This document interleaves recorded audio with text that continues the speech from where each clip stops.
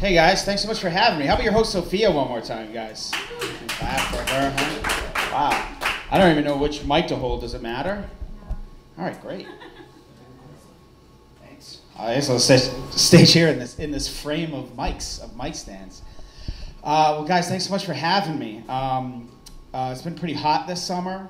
Uh, I was on my way to a show a few weeks ago, and uh, some old guy was like, "Hey, hot enough for?" And then he died of heat stroke.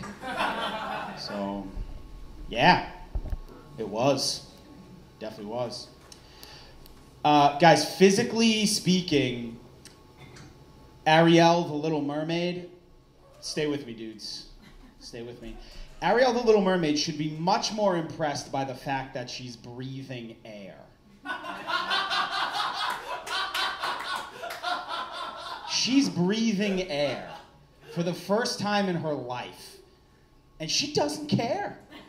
She just doesn't care. She just wakes up. I, I, I just want her to note it a little bit, you know? She wakes up on the beach and she's like, oh, wow. my God, I'm not getting oxygen from diffusion anymore. I'm, I'm making these small physical changes and I'm not even thinking about it. It's just happening. And I just, of course, all that would be an internal monologue because, you know. Yeah, yeah. Traded in the old speaker box. Yeah, that's right. Can't talk. All the other Disney princesses note the weird things that happen to them, you know. When Belle first walks into the castle, she's like, yo, this furniture can talk.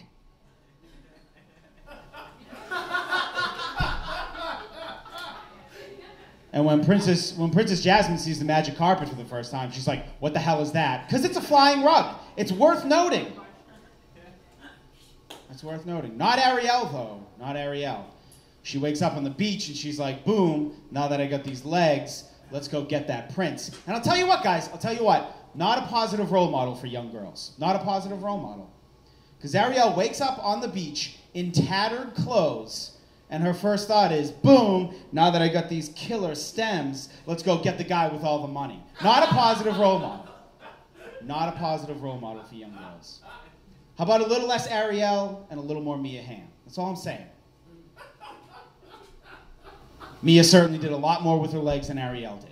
That's all. That's, that's all. That's all.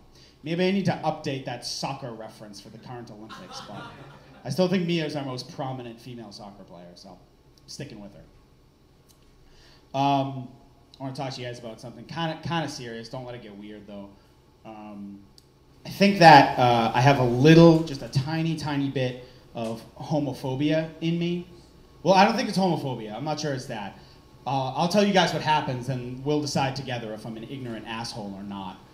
Um, anytime I see a lesbian couple and one or both of them are really attractive, one singular thought pops up from the deepest part of my brain.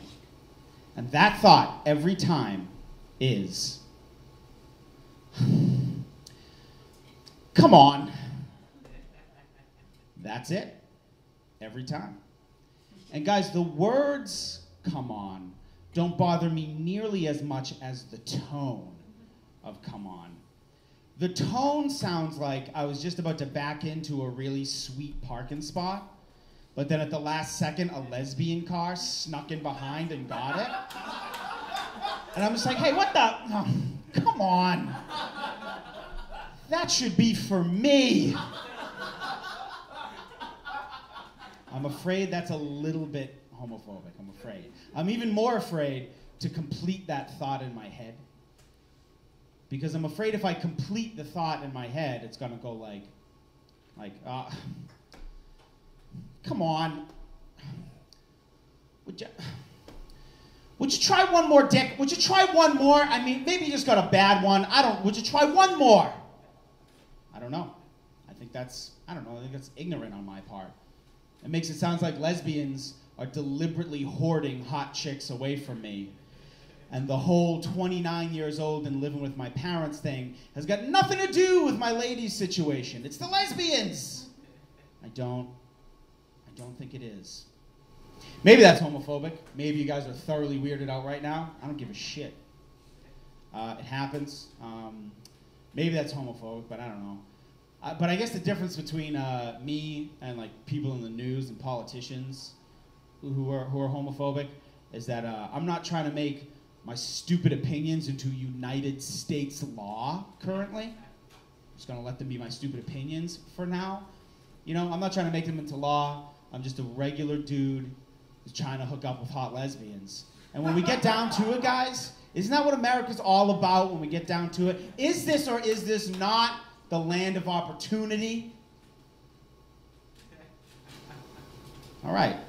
I'm going to work on that ending a little bit for everyone but this guy who fucking loves it. Man, I don't mean to call you out, man, but I got to take what I can get up here. Um, so thank you. Um, last thing I'll uh, leave you with, guys, uh, before I get off stage and just rethink everything about my life, um, is uh, I'm a big fan of all these superhero movies. I saw Spider-Man, loved it. Saw Dark Knight Rises, loved it. Um, the only thing that I think these movies are missing is uh, when the damsel in distress, you know, when the girl in the movie uh, hooks up with the alter ego for the first time. Uh, they don't notice that this unassuming dude is absolutely jacked out of his mind. You know? I just kind of wish Gwen Stacy was like, all right, high school nerd Peter Parker, let's get this uh, shirt off. And whoa, Peter, look at those abs, man. Wow, you're a science nerd, but you are hitting the gym. You even have those like hip line things that models have. Nice work.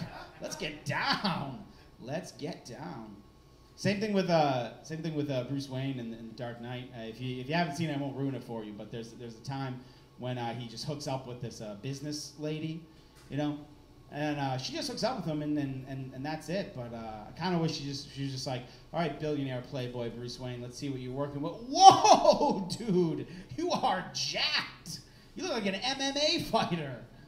In college, I hooked up with a linebacker, but this is better. Wow, look at all those scars too. You're a badass. Let's get down. I don't know.